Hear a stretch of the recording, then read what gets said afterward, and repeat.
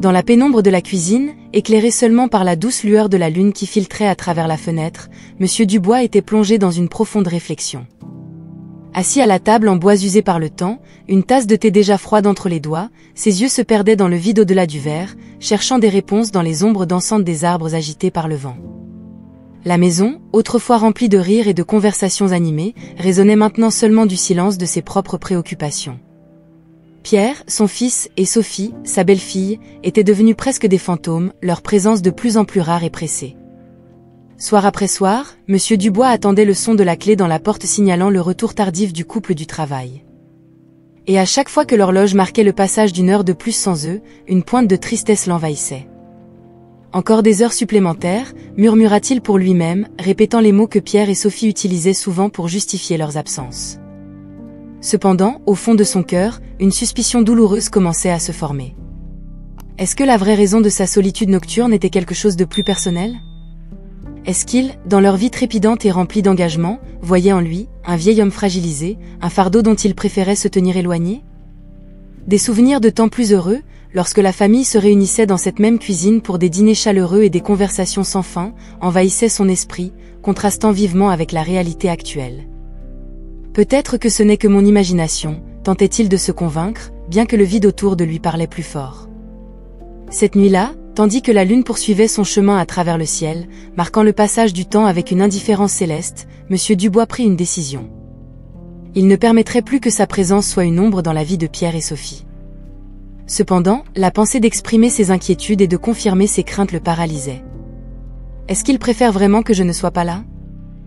Le doute, autrefois chuchoté dans son esprit, criait maintenant pour attirer l'attention. Avec un soupir lourd, il se leva enfin, déterminé à affronter ce que demain apporterait. La solitude, une compagne indésirable, semblait être le seul réconfort dans son incertitude.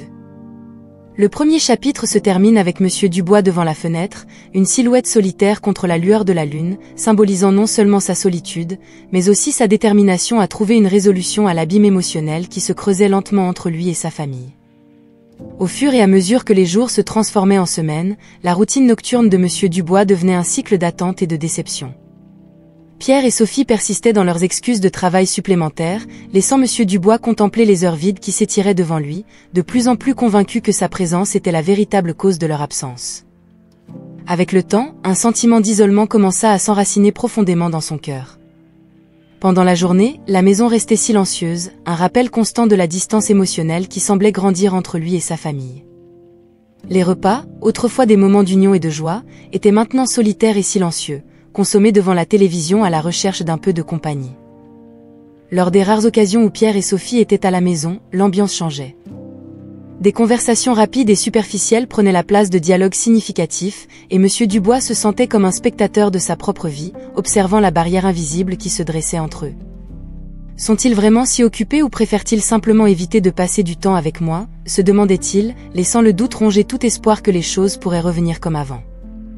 Une nuit, alors que Pierre et Sophie se préparaient pour une autre session de travail supplémentaire, M. Dubois décida d'exprimer ses préoccupations, sa voix tremblante brisant le silence habituel de la maison. Pierre, Sophie, est-ce vraiment nécessaire de rester si tard au travail tous les soirs? demanda-t-il, essayant de cacher son insécurité. Pierre échangea un bref regard avec Sophie avant de répondre, C'est juste pour un moment, père. Le projet nous demande beaucoup. Ça va passer. Mais les paroles de Pierre, bien que réconfortantes, n'arrivaient pas à dissiper les nuages de doute qui se formaient dans l'esprit de M. Dubois. Et si le problème n'était pas le travail, mais moi, pensa-t-il, l'idée le hantant bien après le départ de Pierre et Sophie. Les semaines suivantes ne firent que renforcer la conviction de M. Dubois que sa santé défaillante et ses besoins croissants étaient les véritables raisons derrière le changement de comportement de sa famille. Chaque excuse, chaque départ précipité, chaque nuit passée dans la solitude ajoutait du poids à sa douloureuse suspicion selon laquelle, d'une manière ou d'une autre, il était devenu un obstacle dans leur vie. Ainsi, M. Dubois se retrouva pris dans un tourbillon d'émotions contradictoires, oscillant entre le déni et l'acceptation de sa réalité.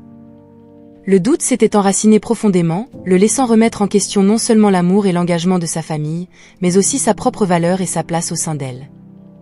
Dans un rare moment de calme, alors que le crépuscule laissait place à la nuit noire, M. Dubois se permit de plonger dans les souvenirs d'un passé plus heureux, un temps où les cendres de sa vie ancienne n'étaient pas encore emportées par le vent de l'adversité. Assis sur la même chaise à bascule qu'il avait sauvé des décombres de sa vieille maison, il ferma les yeux et les souvenirs affluèrent librement, aussi vifs et colorés que s'ils se déroulaient à cet instant même. Son esprit le ramena au jardin qu'il entretenait fièrement, un patchwork de couleurs et de parfums marquant le rythme des saisons. Il se souvint des après-midi ensoleillés passés entre les rangées de fleurs et de légumes, la terre fraîche sous ses ongles, une sensation d'accomplissement remplissant sa poitrine à chaque nouvelle récolte.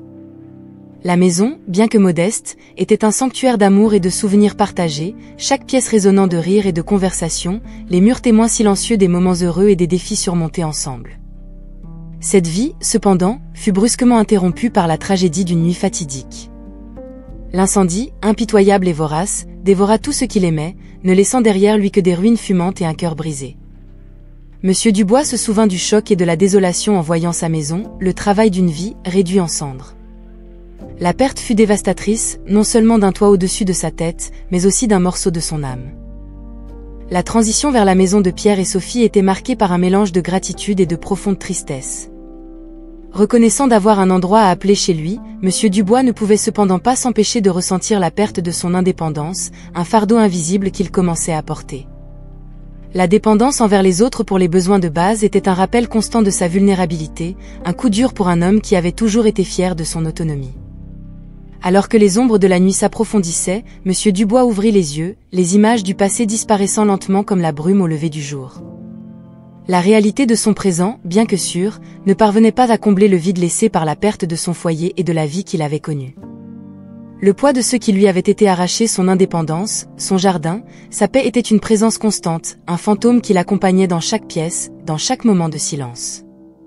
Dans cet instant d'introspection, M. Dubois comprit que, malgré la générosité de Pierre et Sophie, le désir d'un foyer qu'il ressentirait vraiment comme le sien ne le quitterait jamais. C'était cette nostalgie, ce deuil de ceux qu'il avait perdus, qui façonnait maintenant ses jours, teintant ses interactions d'une mélancolie qu'il luttait pour dissimuler. Et au fond de lui, il savait que la recherche d'un sens d'appartenance et de but serait un voyage solitaire, un chemin qu'il devrait parcourir avec le poids de la mémoire et de l'espoir guidant ses pas. Dans le calme d'un matin qui promettait plus de la même chose, M. Dubois prit une décision qui pesait sur son cœur depuis longtemps, mais qu'il venait seulement de trouver le courage de verbaliser. La douce lumière de l'aube inondait la cuisine, lançant une lueur dorée sur la table où lui et sa famille avaient partagé d'innombrables repas, désormais le théâtre d'un silence assourdissant. Avec la résolution ancrée en lui, il attendit que Pierre et Sophie commencent une nouvelle journée pour leur faire part de sa décision. Lorsque le couple apparut enfin, pressé et déjà absorbé par les soucis du jour à peine commencé, M. Dubois saisit le moment opportun pour parler. Son cœur battait à un rythme rapide, un mélange de peur et de soulagement parcourant tout son être. Pierre, Sophie, j'ai besoin de vous parler, commença-t-il, sa voix plus ferme que prévu. Pierre et Sophie échangèrent un regard rapide avant de s'asseoir, une expression d'attente mêlée d'une pointe d'inquiétude. Que se passe-t-il, père? demanda Pierre, le front légèrement ridé. Respirant profondément, M. Dubois plongea directement dans le sujet qui le préoccupait. J'ai réfléchi Je pense qu'il est temps que je déménage dans une maison de retraite. Ces mots restaient en suspens, chargés d'un poids qui semblait distendre le temps. Sophie couvrit sa bouche de sa main, surprise, tandis que Pierre le regardait simplement, la surprise laissant place à une complexité d'émotions que M. Dubois ne parvint pas à déchiffrer. Il attendait des protestations, des insistances sur le fait qu'il faisait partie de la famille et qu'une telle décision n'était pas nécessaire. Cependant, ce qui suivit le prit complètement au dépourvu. Si c'est ce que tu estimes être le mieux, Père, nous soutiendrons ta décision, déclara Pierre, après un moment qui sembla une éternité. La voix de Pierre était calme, presque résignée, sans trace de la résistance que M. Dubois avait anticipée. Sophie acquiesça, exprimant son accord, une légère lueur de tristesse dans les yeux. Nous voulons que tu sois heureux et à l'aise, où que tu sois, ajouta-t-elle, tentant de sourire, mais l'expression trahissait plus de soulagement que de joie authentique. Leur manque de résistance, bien qu'attendu à un certain niveau, frappa M. Dubois avec une force inattendue. Une partie de lui espérait qu'ils insisteraient pour qu'il reste, qu'ils lui diraient qu'il n'était pas un fardeau, que sa présence était désirée et appréciée. Mais l'acceptation calme de sa proposition ne fit que solidifier sa croyance qu'il était vraiment une gêne pour eux, un obstacle dans leur vie occupée et dynamique. Avec un nœud se formant dans sa gorge, M. Dubois acquiesça simplement, incapable de faire confiance à sa voix pour prononcer plus de mots. La conversation se tourna rapidement vers les détails pratiques, des discussions sur comment et quand trouver une maison de retraite appropriée, mais l'esprit de M. Dubois était ailleurs, perdu dans un tourbillon d'émotions contradictoires. En retournant au silence de ses pensées, alors que Pierre et Sophie reprenaient l'agitation de leur routine matinale, M. Dubois ressentit une solitude encore plus profonde s'installer.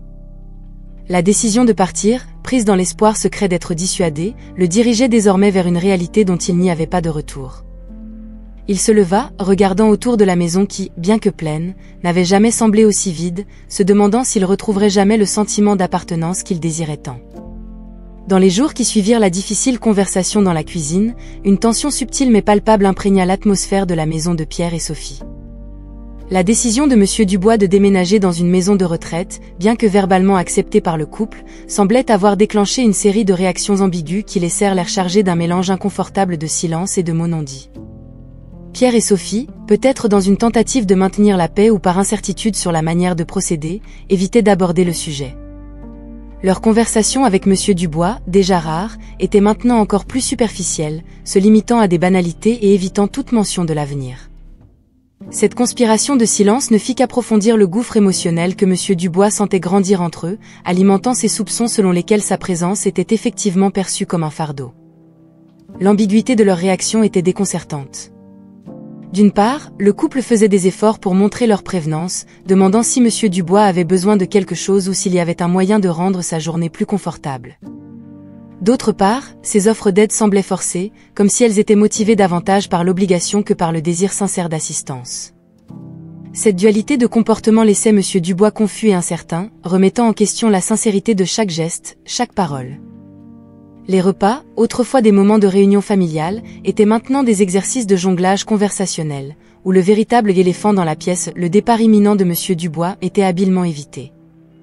Le silence sur le sujet était devenu une barrière invisible, isolant M. Dubois dans un monde de réflexion et de spéculation, où les doutes sur sa position dans la famille se multipliaient. Dans un effort pour dissiper le brouillard d'incertitude, M. Dubois a tenté, à plusieurs reprises, d'entamer une conversation sur les prochaines étapes de son déménagement.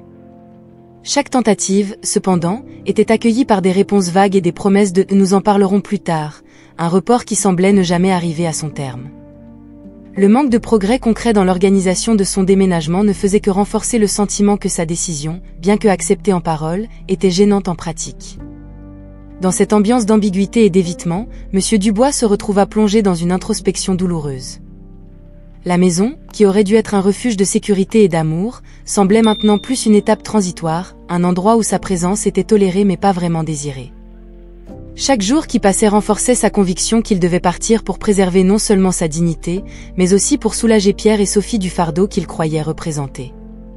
Ce chapitre de sa vie, marqué par l'ambiguïté et le silence, n'était pas ce que M. Dubois avait imaginé pour ces années dorées. Cependant, confronté à la réalité de sa situation, il se préparait à affronter l'inconnu, animé par l'espoir de trouver la paix et un nouveau sens à sa vie, même loin de la famille qu'il aimait tant.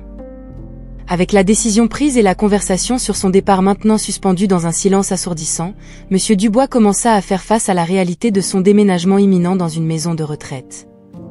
Chaque jour qui passait apportait avec lui le besoin croissant de se préparer à ce qui allait suivre, une tâche qu'il abordait avec un mélange de résignation et de mélancolie. Un jour particulièrement clair, où les rayons du soleil semblaient illuminer chaque coin de sa chambre, M. Dubois ouvrit l'armoire, se confrontant à la tâche de décider ce qu'il emporterait avec lui. Les vêtements suspendus, chacun avec leur propre histoire et leurs souvenirs de jours meilleurs, semblaient lui chuchoter, rappelant la réalité que beaucoup de ces pièces n'auraient pas leur place dans sa nouvelle vie. À chaque objet qu'il pliait et mettait dans la valise, une vague de sentiments l'envahissait. Il y avait la tristesse, profonde et pénétrante, de laisser derrière lui non seulement ses biens, mais aussi la vie qu'il connaissait. Il y avait la peur de l'inconnu, de ce que serait vivre parmi des étrangers, loin du confort et de la familiarité de sa famille. Mais, au milieu de ces émotions tumultueuses, il y avait aussi un mince fil d'espoir, la possibilité que ce changement puisse, d'une manière ou d'une autre, apporter un nouveau départ, voire même un nouveau bonheur. Le processus d'emballage s'étendait au-delà du tangible, emmenant M. Dubois dans un voyage introspectif. Chaque objet qu'il choisissait de garder ou de laisser derrière lui semblait symboliser les différents aspects de sa vie qui changeaient. Les livres de jardinage, par exemple, étaient un rappel douloureux du jardin qu'il aimait et qu'il ne pourrait pas emmener avec lui. Les photographies de famille, des moments figés dans le temps, évoquaient un sentiment aigre doux, la joie des souvenirs mêlés à la douleur de savoir que de nouveaux souvenirs sans lui étaient sur le point d'être créés. Pierre et Sophie observaient de loin, offrant occasionnellement leur aide, mais se tenant le plus souvent à l'écart, peut-être incertains sur la façon de s'approcher ou sur ce qu'il fallait dire. Cette distance ne faisait qu'accentuer la solitude de M. Dubois, le sentiment d'être lentement effacé de la vie de la famille qu'il chérissait tant. Cependant, au milieu de la tristesse et de la résignation, M. Dubois s'est autorisé des moments de réflexion sur le sens du foyer et de la famille. Alors qu'il rangeait ses affaires, il commençait à réaliser que, même s'il quittait la maison de Pierre et Sophie, les souvenirs et l'amour qu'ils avaient partagés ne seraient pas effacés si facilement. Cette prise de conscience apportait un petit réconfort, une lumière douce au milieu de l'obscurité de la transition. En finalisant les préparatifs pour son déménagement, avec les valises prêtes et les effets personnels réduits à l'essentiel, M. Dubois faisait face à l'avenir avec un mélange complexe d'émotions. La tristesse de partir était palpable, mais il y avait aussi une compréhension croissante que la vie, dans son essence, est une série de départs et d'arrivées. Et alors qu'il se préparait à fermer la porte sur ce chapitre de sa vie, il y avait l'espoir silencieux que la porte qui s'ouvrait devant lui révélerait un nouveau chemin rempli de possibilités. Lors d'un après-midi de douce brise qui apportait le parfum des fleurs du jardin voisin, M. Dubois décida de faire une promenade dans le quartier, cherchant à respirer un peu loin des émotions conflictuelles qui l'entouraient. Le soleil brillait haut, offrant une chaleur réconfortante contre le froid de l'incertitude qui l'accompagnait. C'est lors de cette promenade contemplative qu'il rencontra Madame Boucher, une voisine de longue date, dont la présence lui apportait toujours une sensation de familiarité et de réconfort. Madame Boucher s'occupait de ses rosiers, et en voyant Monsieur Dubois, elle lui fit signe avec un sourire chaleureux. Ah, Monsieur Dubois, quel plaisir de vous voir. Comment allez-vous? demanda-t-elle, avec un intérêt sincère. Monsieur Dubois s'approcha, reconnaissant pour l'occasion de parler à quelqu'un en dehors du cercle familial. Je vais bien, merci. Je profite simplement un peu du soleil, répondit-il, essayant de garder une légèreté dans sa voix. La conversation coula naturellement, avec Madame Boucher partageant des nouvelles du quartier et Monsieur Dubois écoutant attentivement, reconnaissant pour la distraction. Cependant, lorsque le sujet se tourna vers son prochain déménagement dans une maison de retraite, l'atmosphère devint plus lourde. C'est un grand changement, n'est-ce pas? Comment votre famille gère-t-elle cela? demanda Madame Boucher, curieuse. Monsieur Dubois hésita un instant avant de répondre. Il semble bien l'accepter. Je pense que c'est le mieux pour tout le monde, dit-il, bien que sa voix trahissait un soupçon de doute. Madame Boucher, remarquant l'hésitation dans sa voix, s'approcha un peu plus, baissant la voix comme si elle partageait un secret confidentiel. Vous savez, monsieur Dubois, parfois les familles trouvent cela plus facile. Certains enfants, bien qu'ils aiment leurs parents, préfèrent ne pas avoir la responsabilité directe de s'en occuper. C'est peut-être le cas de Pierre et Sophie. Les paroles de Madame Boucher, bien qu'elles aient été prononcées avec l'intention de réconforter, frappèrent Monsieur Dubois comme un coup.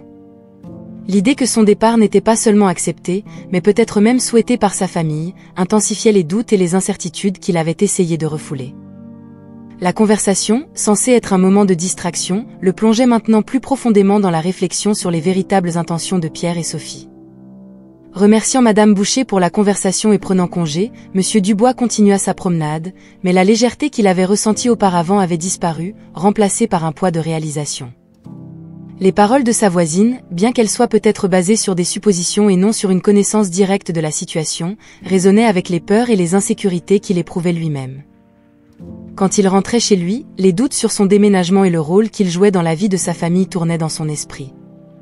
La révélation involontaire de Madame Boucher lui avait donné une nouvelle perspective, sombre et inconfortable, sur son départ.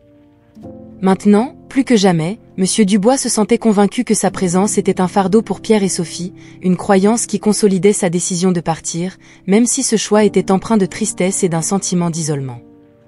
Au fil des jours, se transformant en semaines sans aucun progrès visible vers le déménagement de M. Dubois vers une maison de retraite, un sentiment d'inquiétude commençait à s'installer profondément en lui. Le silence autour du sujet, autrefois simplement gênant, était maintenant une source d'anxiété palpable, alimentant la spirale de doute et de crainte qui l'entourait. Chaque matin, M. Dubois se réveillait avec l'espoir que ce serait le jour où Pierre et Sophie discuteraient enfin des plans de son déménagement avec lui, détaillant les étapes qui faciliteraient la transition. Cependant, à mesure que les heures passaient, cet espoir s'évanouissait lentement, laissant derrière lui une sensation de stagnation et d'abandon. Le petit déjeuner était devenu un rituel silencieux, les trois assis à la table, absorbés par leurs propres pensées. Monsieur Dubois observait Pierre et Sophie, remarquant comment ils semblaient de plus en plus absorbés par leur propre vie et responsabilités, trouvant rarement ou même cherchant des moments pour aborder l'éléphant dans la pièce. À plusieurs reprises, il avait essayé d'aborder le sujet, sa voix chargée d'un mélange d'espoir et d'hésitation. Avez-vous eu l'occasion de regarder quelques maisons de retraite? demandait-il, essayant de garder une voix neutre, mais son cœur battait rapidement, anxieux pour toute information. Ah, oui, nous allons regarder ça, papa. C'est juste que ça a été très chargé dernièrement, répondait Pierre, sa voix pleine des excuses familières pour monsieur Dubois. Sophie hochait simplement la tête, acquiesçant, un regard de sympathie traversant son visage pendant un bref instant avant de se tourner à nouveau vers l'écran de l'ordinateur portable. À chaque réponse évasive, la conviction de M. Dubois que sa présence était une nuisance se solidifiait encore plus. Le retard dans l'organisation de son déménagement n'était pas seulement une question de logistique ou de manque de temps. Pour lui, c'était devenu une indication claire que Pierre et Sophie étaient soulagés à l'idée de son départ, même s'ils n'avaient pas le courage de l'admettre ouvertement. La maison, autrefois un refuge d'amour et de sécurité, commençait à ressembler de plus en plus à un purgatoire, un endroit où il existait mais n'appartenait pas vraiment. L'attente angoissante du déménagement, de l'étape suivante de sa vie, était devenue un rappel quotidien de sa situation précaire, d'être en marge de la famille qu'il aimait tant. Le soir, allongé dans son lit, M. Dubois se retrouvait perdu dans ses pensées, l'obscurité de la chambre faisant écho à l'obscurité de ses réflexions. Le retard de Pierre et Sophie à agir, à lui fournir un chemin clair vers l'avenir, semblait maintenant moins une question de temps ou de commodité et plus un message non verbalisé que son départ était non seulement nécessaire, mais souhaité. Ce temps d'attente, chargé d'incertitude et d'isolement, laissait M. Dubois luttant contre un tourbillon d'émotions. L'anxiété pour le changement imminent se mêlait à une profonde tristesse pour la perte du foyer et de la famille telle qu'il les connaissait. Pourtant, malgré la douleur et l'inconfort de cette attente, une partie de lui reconnaissait que, peut-être, dans la solitude d'une maison de retraite, il trouverait un nouveau type de paix, libéré du poids d'être un fardeau pour ceux qu'il aimait. Après des semaines d'attente angoissante, un jour qui commençait comme les autres, le moment de vérité est enfin arrivé pour Monsieur Dubois. Le soleil du matin inondait la cuisine d'une lumière douce, promettant un nouveau départ, lorsque Pierre s'est assis à table avec une expression plus sérieuse que d'habitude. Sophie l'accompagnait, son visage tout aussi solennel, suggérant l'importance de ce qui allait être discuté. Papa commença Pierre, faisant une pause comme s'il cherchait les bons mots. Nous avons trouvé une maison de retraite. C'est un endroit très bien, avec d'excellentes références. Nous pensons que ce sera le mieux pour toi. La nouvelle, bien qu'attendue, a frappé M. Dubois avec une force qu'il n'avait pas anticipée. L'annonce de Pierre, la formalité avec laquelle elle a été livrée, a marqué un tournant, transformant une possibilité lointaine en réalité imminente. Pendant un bref instant, l'air semblait sortir de la pièce, laissant M. Dubois lutter pour comprendre la portée de ses mots. Quand? Quand est-ce prévu? Sa voix était un murmure, chaque mot chargé d'émotion. Dans deux semaines, répondit Sophie, lui offrant un sourire encourageant qui ne pouvait dissimuler la tension dans ses yeux. Cela nous donnera suffisamment de temps pour nous préparer et nous assurer que tout est en ordre pour ton déménagement. Deux semaines. Le délai résonnait dans l'esprit de M. Dubois comme un gong, marquant le début de la fin de sa vie telle qu'il la connaissait. La réalité de quitter la maison de Pierre et Sophie, le foyer qui était devenu son refuge ces dernières années, est soudain devenue écrasante. Tout ce qui était familier et confortable serait laissé derrière, remplacé par l'incertitude d'une nouvelle existence parmi des étrangers. La conversation qui a suivi portait sur les détails pratiques du déménagement, mais les mots semblaient lointains, étouffés par le tourbillon de pensées et d'émotions qui dominait M. Dubois. Pierre et Sophie parlaient des arrangements et des plans comme s'ils essayaient de se convaincre autant que lui qu'il faisait le bon choix. Lorsque la réunion s'est terminée et que Pierre et Sophie ont repris leurs tâches quotidiennes, M. Dubois est resté assis à la table, plongé dans la réflexion. L'annonce de son départ, le marqueur d'une nouvelle phase de sa vie, apportait avec elle un mélange complexe de soulagement et de désolation. D'un côté, la décision le soulageait de la crainte d'être un fardeau, de l'autre, elle le confrontait à la solitude et à la perte de tout ce qu'il connaissait et aimait. En ce jour de révélation, M. Dubois a commencé à se préparer mentalement au changement, essayant de voir au-delà de la douleur de la séparation vers la possibilité de trouver paix et contentement dans son nouvel environnement. Alors que les deux semaines se déroulaient devant lui, chaque jour devenait un pas vers l'inconnu, un chemin qu'il savait maintenant qu'il devrait parcourir seul, armé seulement des souvenirs du passé et de l'espoir d'un avenir où il pourrait trouver un nouveau sens à la vie. Le jour du déménagement est arrivé avec une rapidité que M. Dubois peinait à comprendre. Les semaines entre l'annonce et le moment de partir avaient été un tourbillon d'émotions et de préparatifs. Maintenant, assis dans la voiture à côté de Pierre, avec ses maigres possessions dans le coffre, il ressentait un mélange d'anxiété et de résignation pulsant dans ses veines. Le trajet a commencé en silence, avec Monsieur Dubois regardant le paysage familier par la fenêtre, chaque rue et chaque maison racontant l'histoire des années passées dans cette communauté.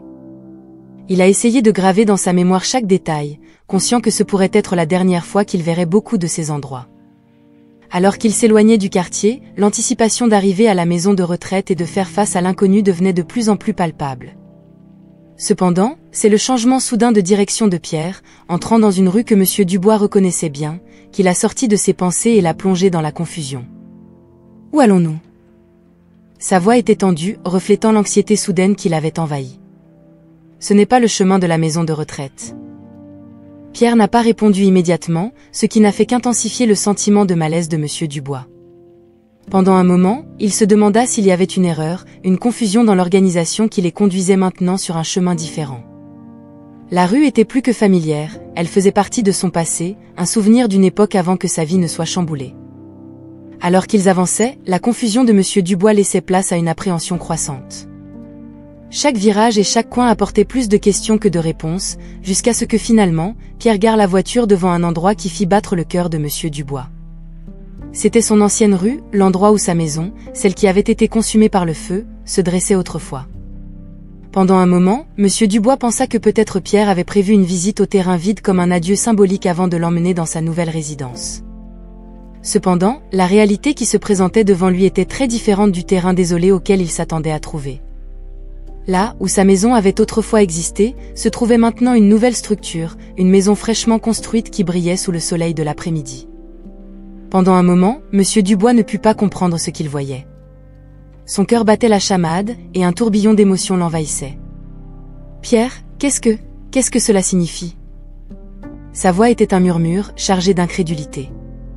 Pierre se retourna enfin pour le regarder, un doux sourire aux lèvres, les yeux brillants d'une émotion non exprimée. Surprise, papa. Bienvenue dans ta nouvelle maison. La révélation laissa Monsieur Dubois sans voix, un choc doux et écrasant le submergent.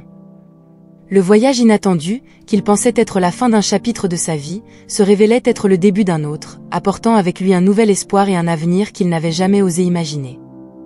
La révélation laissa Monsieur Dubois stupéfait, ses émotions oscillant entre l'incrédulité et une joie croissante. Là, il était, debout devant une nouvelle maison, exactement à l'endroit où la tragédie avait volé son ancien foyer. L'impact de la surprise fit trembler légèrement ses jambes, s'appuyant sur la voiture pour garder l'équilibre. Pierre sortit du véhicule, le contournant rapidement pour soutenir son père, un sourire fier affiché sur son visage. Papa, nous voulions que tu aies de nouveau un chez toi. Un endroit que tu pourrais appeler foyer, expliqua Pierre, la voix pleine d'émotion. Ça nous a pris du temps, et nous voulions garder la surprise jusqu'à ce que tout soit prêt. Sophie les rejoignit, son visage illuminé par un sourire reflétant à la fois le soulagement et le bonheur. Nous avons fait de notre mieux pour le rendre accueillant et confortable pour toi. Nous espérons que ça te plaira, ajouta-t-elle, prenant la main de M. Dubois dans un geste tendre. Avec des pas hésitants, M. Dubois s'approcha de la nouvelle maison, chaque mouvement chargé d'un mélange de nostalgie et d'attente. La façade était moderne, mais avec des touches rappelant le foyer qu'il avait perdu, une combinaison soigneusement planifiée pour respecter le passé tout en regardant vers l'avenir. Pierre ouvrit la porte et l'invita à entrer. L'intérieur de la maison était baigné de lumière naturelle, avec de grandes fenêtres offrant une vue dégagée sur le jardin à l'arrière, encore à ses débuts de culture. Chaque pièce avait été meublée et décorée en pensant au confort et au goût de Monsieur Dubois, depuis le fauteuil confortable dans le salon jusqu'à la chambre spacieuse qui promettait des nuits de sommeil paisible. En parcourant la maison, Monsieur Dubois ressentait une émotion écrasante monter en lui. La gentillesse et l'effort que Pierre et Sophie avaient consacrés en secret pour concrétiser son rêve étaient évidents dans chaque détail, dans chaque choix fait avec tant de soin. Lorsqu'ils arrivèrent dans le jardin, M. Dubois fut envahi d'une joie profonde en voyant qu'un espace avait été réservé pour qu'il reprenne sa passion pour le jardinage. C'était un symbole puissant de renouveau et de continuité, le reliant au souvenir de son ancien chez lui tout en offrant la promesse de nouvelles mémoires à créer. Des larmes lui montèrent aux yeux, débordant de gratitude et d'amour. Je ne sais pas quoi dire. C'est C'est plus que ce que j'aurais jamais pu espérer, réussit-il à dire, sa voix étouffée par l'émotion. Pierre et Sophie s'approchèrent, l'enveloppant dans une étreinte qui scellait leur lien familial, une démonstration physique de l'amour et du respect mutuel qui avait guidé ce projet depuis le début. Tu as toujours pris soin de nous, papa. Maintenant, c'est à notre tour de prendre soin de toi, déclara Pierre, sa voix ferme mais empreinte d'émotion. À cet instant, devant la nouvelle maison qui symbolisait à la fois la fin et le commencement, Monsieur Dubois comprit que le véritable foyer n'était pas seulement fait de murs et de toits, mais des liens d'amour et de soins qui unissent une famille. Et là, dans cet espace nouveau plein de possibilités, il se sentait vraiment chez lui, entouré par la tendresse de Pierre et Sophie, prêt à commencer un nouveau chapitre de sa vie. Alors que les jours passaient dans la nouvelle maison, Monsieur Dubois commença à s'installer dans son nouvel environnement, un espace qui se transforma rapidement d'une structure inconnue en un vrai foyer. Le geste extraordinaire de Pierre et Sophie, reconstruire sa maison et préserver un espace pour qu'ils puissent continuer à cultiver ses passions, servit de puissant catalyseur pour guérir les blessures émotionnelles qui s'étaient formées au cours des mois d'incertitude et de distance. Avec chaque matin qui se levait, apportant avec lui la douce lumière de l'aube qui baignait les pièces de la maison, Monsieur Dubois se sentait de plus en plus enraciné dans son nouveau chez lui, réalisant le profond amour et l'immense sacrifice que Pierre et Sophie avaient consenti en son nom. La prise de conscience de ces efforts dissolvait les derniers vestiges de malentendu et de ressentiment, laissant place à un sentiment de gratitude et d'admiration qui renforçait encore davantage les liens familiaux. Lors d'une après-midi particulièrement sereine, avec le jardin exhibant les premiers signes de vie sous les soins attentifs de Monsieur Dubois, la famille se réunit dans la cour, partageant des histoires et des rires, reflétant l'ambiance chaleureuse et accueillante qui définissait désormais leur foyer. C'est lors de ces moments d'union et de joie partagée que M. Dubois exprima son appréciation, ses paroles chargées d'émotion. Pierre, Sophie, je ne sais comment vous remercier assez pour tout ce que vous avez fait. Vous m'avez donné plus qu'un foyer, vous m'avez redonné l'espoir et la joie de vivre pleinement, dit-il, son regard parcourant l'espace qui symbolisait tant. Pierre posa sa main sur l'épaule de son père, son sourire témoignant d'une profonde affection et d'un profond respect. La famille est faite pour ça, papa. Nous avons simplement fait ce que nous estimions être juste. Te voir heureux et en paix, c'est tout ce que nous voulions. Sophie, à leur côté, opina, ajoutant, Cela nous a rapprochés, plus que jamais. Nous commençons un nouveau chapitre ensemble, et c'est merveilleux. Ce jour-là, tandis que le soleil se couchait, teintant le ciel de teintes oranges et roses, la famille Dubois partagea un dîner en plein air, entouré de la beauté du jardin qui commençait à fleurir. La conversation coulait librement, ponctuée de rires et de plans pour l'avenir, chaque membre de la famille contribuant des idées pour des projets communs et des aventures à vivre. L'histoire de Monsieur Dubois, de Pierre et de Sophie ne se concluait pas par une fin, mais par le début d'un nouveau voyage, marqué par l'espoir, le renouveau et une compréhension plus profonde de l'amour inconditionnel qui les unissait. La nouvelle maison, érigée des cendres d'une tragédie, devenait un symbole tangible de cette transformation, un témoignage de la résilience de l'esprit humain et de la capacité à surmonter les adversités grâce au soutien et à l'affection de la famille. Ainsi, au milieu de la renaissance du foyer et des liens familiaux, M. Dubois trouva non seulement la paix et la sécurité qu'il désirait tant, mais aussi la certitude que, quelles que soient les difficultés que l'avenir réservait, il aurait toujours une place aux côtés de Pierre et de Sophie, entouré de l'amour qui était la vraie essence de son foyer.